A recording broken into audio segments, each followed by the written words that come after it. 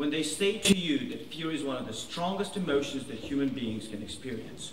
It is because of the fact that it is such an intense feeling, we believe that you fundamentally lose control. Which means that when you remove that out of the equation, you will achieve two things. You will achieve an efficiency of war, as my colleagues explained to you, which is important because that means that that war will not drag out and you will not have more lives lost. But secondly, it means that you are far less prone to commit acts of, uh, of collateral damage, which will actually lead to a faster conflict solvency even after the war, because there is less resent over the civilians lost, and my analysis will explain why that happens. What I'm going to bring to you in my speech today is talk about the idea of accountability that is enforced by an objectification of war rather than being subjected to this fear, which is their strongest feeling, as they point out that you can be uh, uh, subjected to. And secondly, I'm going to be talking about post-war syndrome and how we're actually going to remove this and better integrate veterans within our societies after a war. But before that, a few points of rebuttal in terms of what we've heard from the previous speaker. She talks about hesitation and links that to MAD, right? To mutually assured destruction. The reality is that mutually assured destruction works on an objective basis as well. I'm not going to push that trigger because if they do that as well, I will die. The reality is, it is me being irrational that is actually going to make me far likelier to push that button and not consider the fact that they might actually have rockets to shoot back at me as well. Because it is such a strong emotion, right? Mutually assured destruction works exactly on an objective basis, which is exactly what we want to bring back into it. The other thing is that to keep on talking extensively about the fact that we're removing something core and fundamental to the human nature and the human body, right? Something that is intrinsically human, to quote them.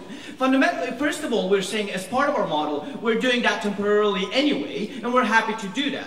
Secondly, if that part that makes us human, makes us kill even more people, we're more than fine to remove that nature of ourselves because we believe fundamentally if something is flawed in the human nature, it is okay to remove it out of the equation. But secondly, you, what you need to understand is they portray this world where fundamentally by doing this, we're using soldiers as a means to an end, right? Well, that is what war is. We're telling people go out there and die so that we benefit from the results of the war and winning as such as a society. That is not a harm of our model. That is the unfortunate nature of war to begin with. They talk about fear and link it to self-preservation, right? We fundamentally, and then they try to portray this idea of genocide. We believe that fundamentally those, all those things are going to be achieved when you objectively follow the rules of engagement because they're written strategically from an overview without the impact of emotions, right? That means that you are no longer purely reactive to the fear and to the scenarios in play, but rather to the objective setting that is written out specifically targeted to minimize both your own potential risk as well as the potential collateral damage. And the moment you have that objective objectively, we believe that you're better off. Sir, but the most obscene sir. point is this idea of a genocide, right? Because you engage in a genocide because you're afraid of everyone else.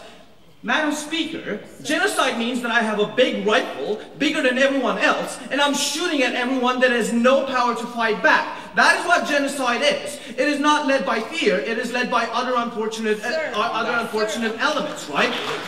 They say, well, why don't you remove stuff like hatred and all of those other core emotions when it comes to the human nature? First of all, they're buying into the idea that if there's a negative aspects to the human nature, we can remove.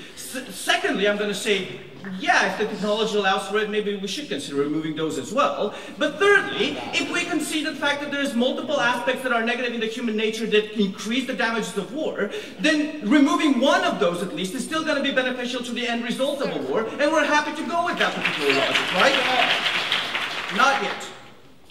Why do we believe that we achieve accountability, right? And we're starting out from the very premise that they set up, which is that fear is one of the strongest emotions that the human body can actually go through, and the human brain loses its track and its focus when it is subjected to that. That is unfortunately the same narrative that courts tend to buy into, right? That is why fear is constantly used as an extenuating circumstance. That is why it is far less likely that someone who shoots a gun at a civilian out of a fear that he will die makes it legitimate for him to say, well, I was afraid for my own life. The conditions in the ground were horrific, and I can't be sanctioned for it, despite the fact that I, uh, that I committed a crime, basically, by killing an, un, uh, uh, uh, a, a, a non-protected civilian.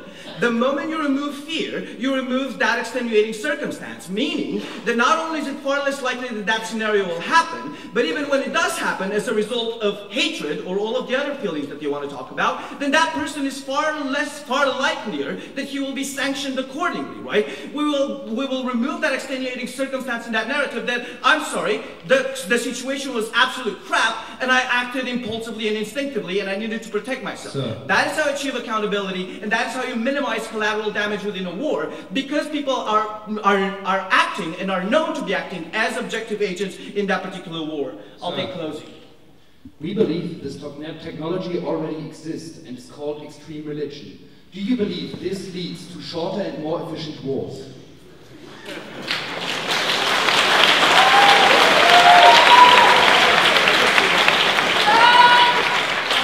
extreme religion, assuming they're going into the, the rationale of put a bomb to, on your vest and goes out somewhere, is a call to action to do something stupid. What we're saying is we're giving you a, a mechanism whereby you minimize the chances of doing something stupid to begin with because you're not subjected to those horribly strong emotions that you guys are talking about. We don't see the, the similarities there in terms of, uh, in terms of the negative impact. Post-war syndrome, we need to understand that, that soldiers on the ground are subjected to two aspects. It is a horrible fear, right? You, you hear these speeches about people living through trenches and the horrifying feeling that they have being constantly bombed. You, talk, you hear veterans from Vietnam talking about the jungles and not knowing where bullets are coming from, right? That particular type of a fear, as well as the potential damages that they've done and killing civilians by accident because they were afraid for their own lives, are things that stay with these people after the war concludes. They, they stay with them after they come back home.